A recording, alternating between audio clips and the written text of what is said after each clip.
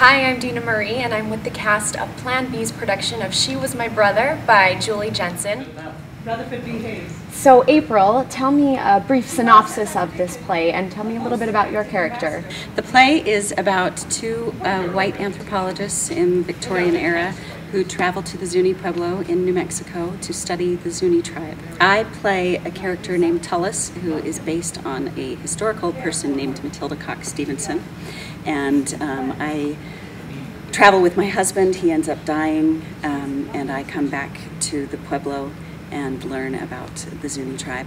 The scene between Tullus and Wilson is their first time seeing each other uh, since a year prior.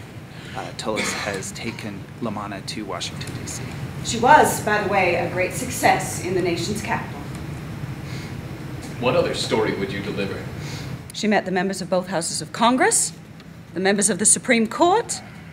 Mr. Justice John Harlan took a particular liking to her. And we did speculate on that with a laugh, she and I, what he might have had in mind.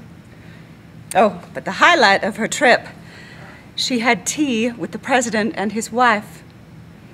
The scene between um, Tullus and Lamana while Lamana is weaving is really about how Tullus learns to see Lamana as a person instead of an object. Men are difficult. Yes. Men are more difficult than women. Oh, yes. Men are more difficult than weaving. Very true. Men are more difficult than any work. Men are difficult work.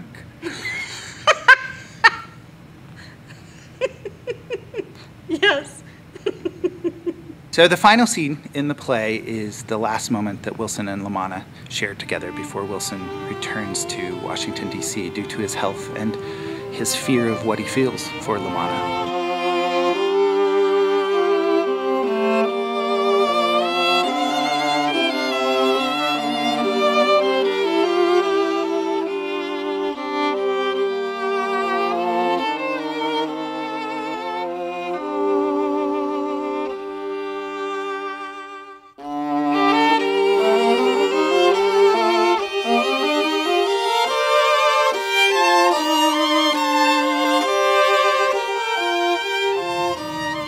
Farewell, my fancy.